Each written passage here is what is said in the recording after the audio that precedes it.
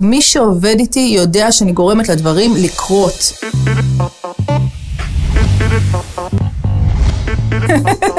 בשתי הקריירות חייבים כימיה.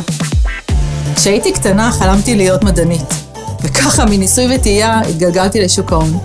משם לענף הביטוח, שהוא היה עבורי הפתעה מאוד טובה. מצאתי שהפיקוח דורש לא רק מקצוענות, אלא יש פה עניין של אמון, יכולת הנאה והובלה להצלחה. מבחינתי, האתגר הוא כל הזמן להמשיך ולחדש. השוק משתנה ומתפתח, ואני פריקית של להיות מעודכנת ולנצח איפה שרק אפשר.